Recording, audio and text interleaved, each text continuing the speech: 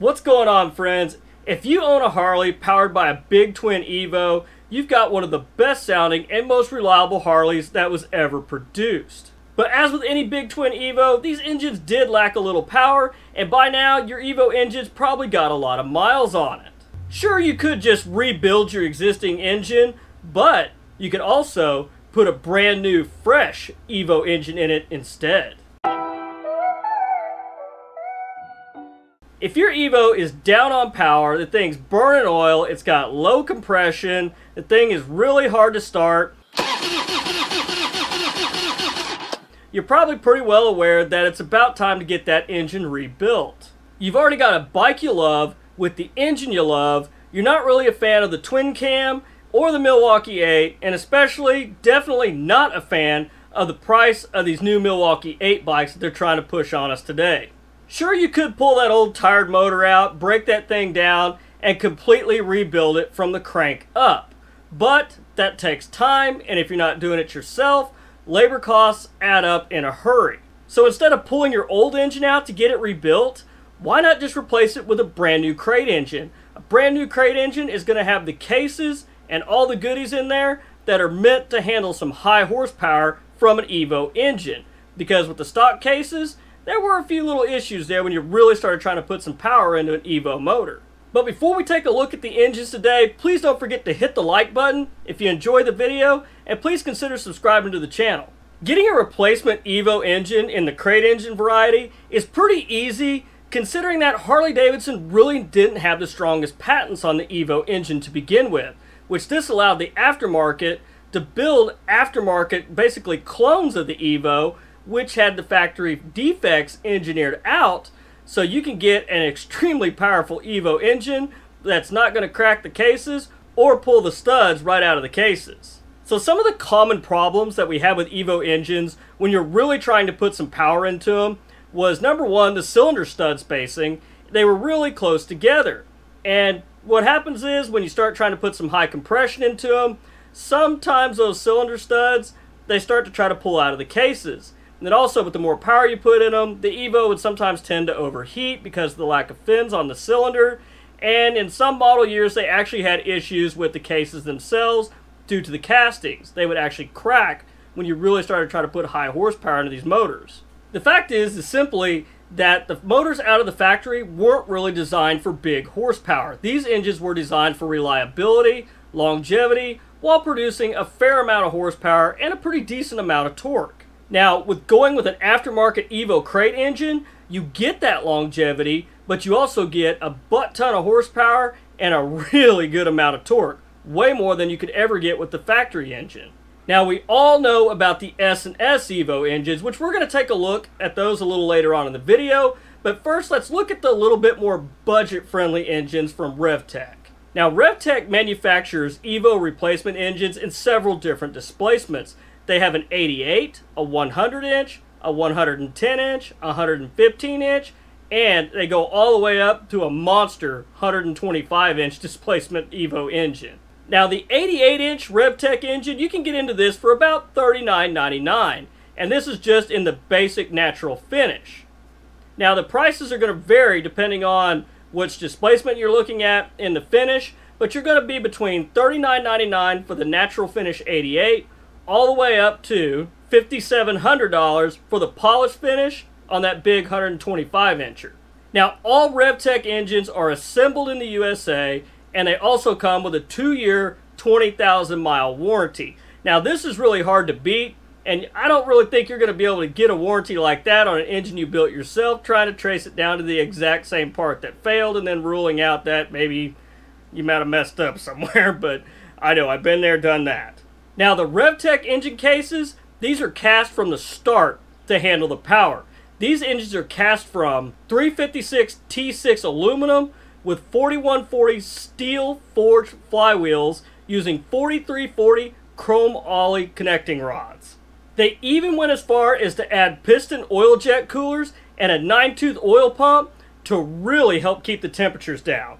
Keith Black pistons, Andrews cams, and roller rocker arms Cylinders have increased fin area. Compression releases are standard, and every engine comes with a Mikuni HSR carb.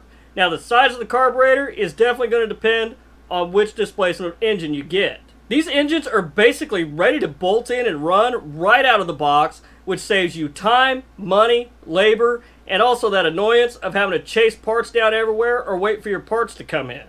Power on these engines, starting just with the 88 alone, is about double what the original Evo was putting out. So on the 88, we're looking at roughly 85, 90 horsepower and about 100 foot-pounds of torque, all the way up to 120 horsepower and 135 foot-pounds of torque on the 125-inch motor. So guys, RevTech was a very popular engine back in the day during the chopper craze. So these motors are out there everywhere used. So you might even be able to find somebody's old chopper project or one of them old $100,000 choppers that's getting sold for about four grand. And you can get that big engine, pull it out of that, and sell the chassis or what's left of the bike you took it out of. Now one of the other budget-friendly options on my list today these are the Ultima engines. These engines don't exactly have as good of a warranty, not nearly as good as what RevTech was offering. They're very budget friendly and kind of, I don't really know too much about the quality on Ultima these days. I know back in the day there were some issues, but it seems like today I haven't really heard as many bad things about Ultima as I used to. I'm really trying to be nice, but I'm also trying to be honest. Now, Ultima engines do produce some big power. Now, as you move up the food chain when it comes to displacement with Ultima engines and power output, the amount of warranty that they actually give you actually decreases with each level that you step up. And this is highly likely due to the power output because these engines do put out a pretty good amount of power. Ultima engines are available in 100 inch, 107 inch, 113, 120, and 127 inch configuration. Now, Ultima is going to give you a 24 month warranty on their 100 inch motor, but it does drop to 12 months when it comes to the 107 and the 113. And when it comes to the 120 and the 127, they only give you 6 months from the date of purchase. Now, Ultima makes their cases out of C355 T6 aluminum using 4140 steel flywheels with 7.7 inch H-beam connecting rods and 0.927 diameter wrist pins, which will handle some serious power as well, just like the RevTech engine.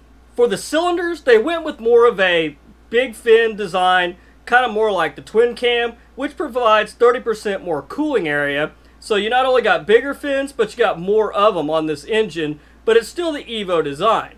But it also helps with cooling, which is extremely important when you have a high horsepower Evo. And also on these engines, for easy starting, they come with compression releases that are automatic and they're also standard, so they're not going to cost you any extra. Now the 100 inch Ultima is going to start out at $41.99 and this engine is going to net you 110 horsepower and 110 foot-pounds of torque, which that's not bad at all. Now from there, horsepower and torque climbs all the way up to about $5,800 for 140 horsepower and 140 foot-pounds of torque on that 127 engine. That might be why they only give you six months from date of purchase on it. That is a lot of power in an engine designed around the Evo. Now, with Ultima and RevTech, these are sold only through authorized dealers. I mean, you can find them on eBay and some other shops out on the internet, and a lot of your local independent shops will be able to order these for you. So just make sure you're careful before you buy one and you shop around and you don't pay too much for these engines because the prices vary dramatically between all the different dealers out in the network. But when it comes to replacement engines, S&S is probably going to be your best bet, and in my opinion, probably your most reliable. And the most reliable S&S engine that they offer is the S&S V80 variety. This is an excellent choice for a mild, basically stock replacement, but you're going to get a pretty good bump on that V80 engine from S&S due to the Super E carb, S&S 508 cam, and the S&S high flow cylinder heads. It comes with a two-year warranty, and it'll run you about 5600 bucks at retail, but you could probably get that a little cheaper depending on where you buy it. With a good exhaust system, this brand new engine will really wake your bike up, and this should put you somewhere about in the roundabouts in the 80 horsepower area, which is a big, big gain over a stock Evo, or even one that's cammed out a little bit.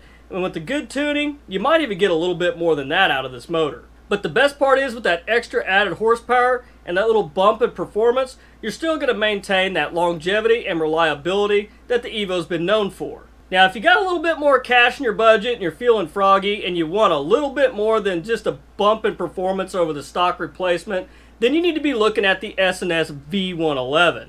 This is a nice motor and it still retains that longevity and reliability. The V111 is basically a short stroke version of the V124, which we're going to take a look at here in just a minute. The V111 uses S&S's 585 cam, and it also has lower compression, so you're not going to have the fueling concerns that you might have with the higher compression motor that we're fixing to look at. The V111 also comes with automatic compression releases and a two-year warranty. S&S even made this engine just a little bit shorter than the stock engine's height, so getting this engine swapped out and put into your frame is going to be a breeze. Well, I say a breeze, but there's always hangups even though the engine's shorter. Now, retail, this engine's going to run roughly about $6,200, but it's going to net you 115 horsepower and 122 foot-pounds of torque.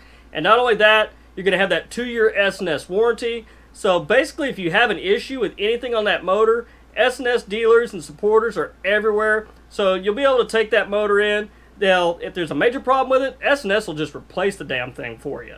Now, if you want some major power for your Evo engine replacement, S&S has the V124.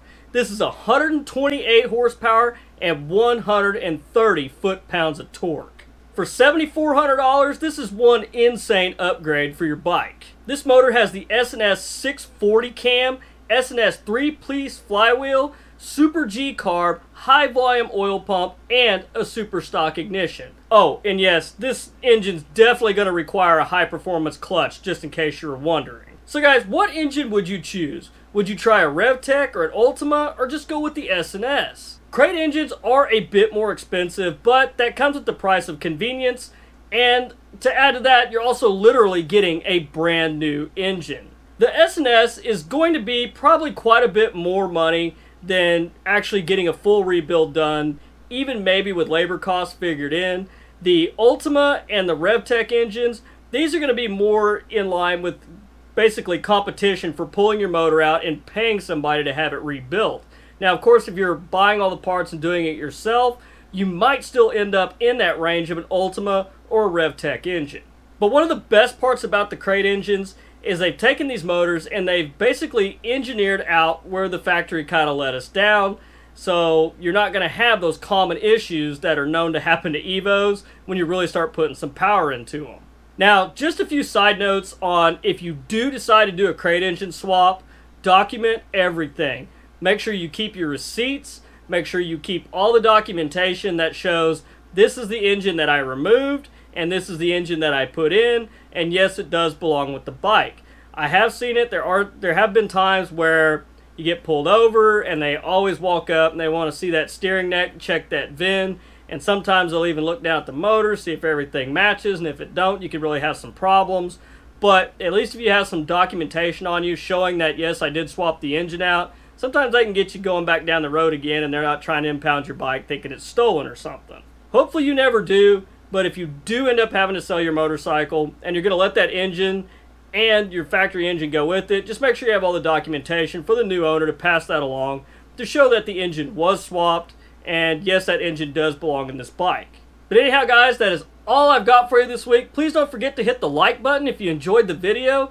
And let me know in the comments if you have had any experience with swapping out for a crate motor. But until next week, guys, you guys stay safe on the streets, dodge those cars, please ride smart, stay safe, and I'll catch you back here next week. Thanks for watching.